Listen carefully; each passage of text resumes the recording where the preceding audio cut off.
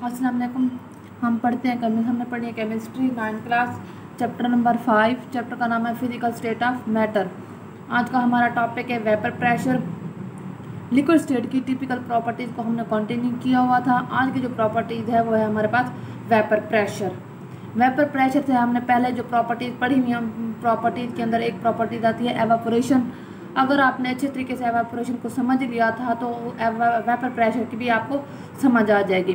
Vapour pressure नाम से भी ज़ाहिर हो रहा है कि ना वेपर की वजह से जो प्रेशर डिवेलप होता है, वो क्या कहलाता है? वेपर प्रेशर कहलाता है। अब हम वेपर प्रेशर को प्रोसीड करते हैं। अब वेपर प्रेशर को डिस्कस बाद में करेंगे। हम पहले जान लेते हैं कि वेपर किसे कहते हैं। हम लिक्विड को जब गैस फॉर्म में कन्वर्ट करते हैं तो गैस फॉर्म में कन्वर्ट करने के बाद कुछ हम देखते हैं कि एक धुआँ सा उठता है, किसी कंटेनर से, किसी बर्तन से, वो धुआँ क्या कहलाते हैं? वो वेपर कहलाता है। अब हम एक कंटेनर लेते हैं, खुला कंटेनर जो बंद नहीं है, उसके अंदर हम क्या करते हैं? लिक्विड डाल देते हैं।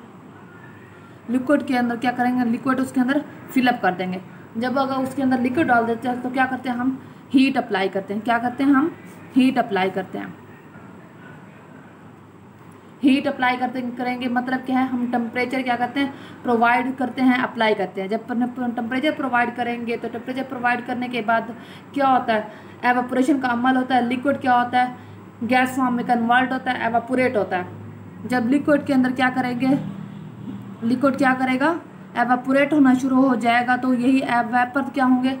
जो हमारे पास एयर है एटमोसफेयर के अंदर मिक्स हो जाएँगे। किसके अंदर एटमोसफियर के अंदर यही वेपर मिक्स हो जाएँगे एयर के साथ मिक्सअप कर लेंगे कम्प्लीटली इसके इसके मुतबादल या इसी के मुकाबले में हम क्या करते हैं? एक और कंटेनर लेते हैं। उस कंटेनर को क्या करते हैं? हम बंद कर लेते हैं। उसके ऊपर ढक्कन लगा देते हैं। हम इसके अंदर फिर क्या करते हैं? लिक्विड भरा हुआ है लिक्विड भर देते हैं। फिर उसके अंदर क्या करते हैं? कुछ एरिया हम हाफ़ इसको फिल कर देंगे। लिक्विड से बाकी एरिया क्या छोड़ देंगे उसको, फिर क्या करेंगे? हम ढक्कन से बंद कर देंगे। फिर हम क्या करेंगे? हीट अप्लाई करेंगे। हम फिर यहाँ पे क्या करेंगे? वैक्यूम लगा देंगे। वैक्यूम लगाने के बाद क्या होगा कि कंटेनर के अंदर जो गैस मौजूद है अप साइड के अंदर सॉरी एयर जो मौजूद है, उस एयर को हम रिमूव कर देंगे वहाँ से। प्रोवाइड करेंगे। जब हम टेम्परेचर प्रोवाइड करेंगे तो यही जो मालिक्यूल है लिक्विड के क्या करेंगे? एवापोरेट होना शुरू हो जाएँगे वेपर्स में तब्दील हो जाएँगे। यही जब वेपर्स में तब्दील हो जाएँगे तो क्या करेंगे? ये जाके यूनिट एरिया पे सॉरी ये ढक्कन के ऊपर, जब ये ऊपर जाएँगे तो इसी ढक्कन के साथ स्ट्राइक करेंगे। स्ट्राइक करने के बाद ये दोबारा वापस नीचे की तरफ़ आएँगे। जब ये दोबारा वापस नीचे की तरफ़ आएँगे तो लिक्विड के ऊपर एक प्रेशर होगा। लिक्विड के ऊपर एक प्रेशर अप्लाई होगा लिक्विड के ऊपर। तो दबाव देंगे लिक्विड के ऊपर, यही जो है ना वेपर क्या करेंगे? दबाव देंगे लिक्विड के ऊपर, यही यही जो प्रेशर है, यही दबाव जो है, ये क्या कहलाएगा? वेपर प्रेशर कहलाएगा हमारा। अब यहाँ पे, अब उन्होंने डेफिनेशन क्या की है बुक के अंदर? वो डेफिनेशन उन्होंने इस तरह किया the pressure exerted by the vapours of liquid at equilibrium with the liquid at the at a temperature at a at a particular temperature is called vapour pressure particular temperature का मतलब यहाँ पे बात कर रहे हैं पार्टिकुलर टेम्परेचर पार्टिकुलर टेम्परेचर का मतलब क्या होता है कि फिक्स होता है टेम्परेचर अगर हमने इसके ऊपर थर्टी सेंटीग्रेड टेम्परेचर अप्लाई किया है तो ये क्या कराएगा पार्टिकुलर टेम्परेचर कराएगा अब वो कहते हैं ये ऐसा प्रेशर है ऐसा प्रेशर जो एक्सल्ट होता है कहाँ के बाय वेपर वेपर की वजह से प्रेशर एक्सल्ट होता है ऑफ़ अ लिक्विड लिक्विड के ऊपर at a equilibrium equilibrium stage के with the liquid at a particular temperature particular temperature तो उन्होंने टेम्परेचर एग्जैक्ट बताया हुआ होता है। सॉरी टेम्परेचर पार्टिकुलर एक ही टेम्परेचर को लगाना होता है। इक्विलिब्रियम स्टेज होती है। अब इक्विलिब्रियम स्टेज क्या है? अब वो कहता है rate of evaporation is equal to rate of condensation rate of जो प्रेशर रेट ऑफ़ जो एवापोरेशन है, वो बराबर होगी किसके? रेट ऑफ़ कंडेंसेशन के। अब अब एवापोरेशन क्या होती है कि एवापोरेशन ये होता है कि हमारे पास जो लिक्विड है, वो गैस फॉर्म में कन्वर्ट होता है, वो क्या कहलाता है? एवापोरेशन कहलाता है। अब वो कहते हैं कंडेंसेशन और जो एवापोरेशन है, उसका रेट जो होता है, वो इक्वल होता है। पर बट वो क्या होता है अपोजिट इंट्रैक्शन क्या होंगे अपोजिट इंट्रैक्शन जब यही वैब यही लिक्विड क्या होते हैं? वेपर में तब्दील होते हैं, क्या कहलाएगा? एवापोरेशन जब ये वापस आते हैं स्ट्राई करने के बाद लिक्विड के ऊपर दबाव डालते हैं, जब ये वापस आते हैं तो लिक्विड के साथ मिक्सअप हो जाते हैं तो ये क्या कहलाएगा? कंडेंसेशन अब इनकी अपोजिट डायरेक्शन है, लेकिन क्या है? रेट इनका इक्वल है। Rate of evaporation is equal to rate of condensation by opposite in direction तो ये क्या कहलाएगा? ये हमारे पास इक्वलिब्रियम कहलाएगा, लेकिन कौन सा इक्वलिब्रियम कहलाएगा? हमारे पास डायनामिक इक्वलिब्रियम कहलाएगा। ये था हमारा वेपर प्रेशर अब जितने मालिक्यूल्स वेपर्स में तब्दील होंगे, वही मालिक्यूल दोबारा कम बैक कहाँ पे आएँगे? लिक्विड की तरफ़। वो क्या करते हैं? वो उनकी मकदार क्या होती है? बराबर होती है। अब वो कहता है वेपर प्रेशर जो लिक्विड का वेपर प्रेशर का होता है, वो किस, कुछ चीज़ों के ऊपर डिपेंड करता है। वो कौन कौन सी चीज़ें हमारे पास हैं? वो है नेचर ऑफ़ लिक्विड क्या है हमारे पास? हम फिर यहाँ पे क्या करेंगे?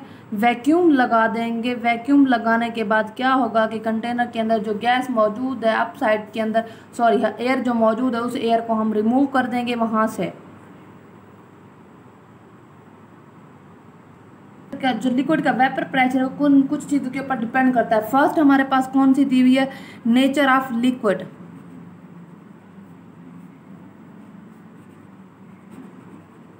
nature of liquid. Nature है, जो लिक्विड की नेचर होती है, उसके ऊपर कौन डिपेंड करता है? वेपर प्रेशर डिपेंड करता है। अब यहाँ पे दो बातें क्यों हैं? लिक्विड की जो नेचर होती है, वो दो टाइप्स की होती है। एक होती है पोलर पोलर लिक्विड एक होती है non polar liquid polar liquid कौन से होते हैं जिनके अंदर पोलर कोवलेंट बॉन्ड पाया जाता है? नॉन पोलर लिक्विड कौन से होते हैं जिनके अंदर नॉन पोलर कोवलेंट बॉन्ड पाया जाता है? अब वो कहता है कि जो पोलर कोवलेंट बॉन्ड है, उनके अंदर इंटरमालिकुलर फोर्सेस ज़्यादा स्ट्रांग होती है। पोलर कोवलेंट सॉरी पोलर को लिक्विड के अंदर इंटरमालिकुलर फोर्सेस स्ट्रांग पाई जाती है, जिसकी वजह से क्या होता है? उनके अंदर वेपर प्रेशर की मकदार कम होती है। इसकी मिसाल उन्हें दी हुई है कि वाटर जो है, उसके अंदर क्या है वेपर प्रेशर कम मकदार में होता है, जबकि उसके मुकाबले में हमारे पास अल्कोहल है। उसके उसके मुकाबले में हमारे पास अल्कोहल है। अल्कोहल के अंदर सेम टेम्परेचर पे क्या होता है, उसके अंदर वेपर प्रेशर जो होता है, वो बहुत ज़्यादा होता है। उसके बाद आ जाता है सेकंड वाला, हमारे पास साइज़ ऑफ़ मालिक्यूल सेकंड क्या है हमारे पास? साइज़ ऑफ़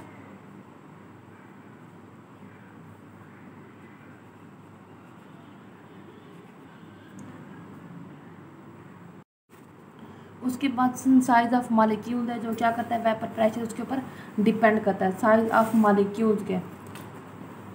जिन मालिक्यूल का साइज़ छोटा होता है स्मॉल साइज़ होता है, जिन मालिक्यूल का, उनके अंदर एवापोरेशन का जो सॉरी वेपर का या एवापोरेट होने का जो अमल है, वो इजीली होता है। जबकि जिन मालिक्यूल का साइज़ बड़ा होता है, उनके अंदर एवापोरेशन या एवापोरेट होने का वेपर प्रेशर का क्या होता है, वो नहीं हो सकता इजीली नहीं होता। जबकि जिनके अंदर जिनका साइज़ समाल होता है, उनके अंदर इजीली होता है।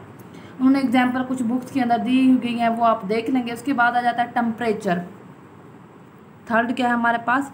टम्परेचर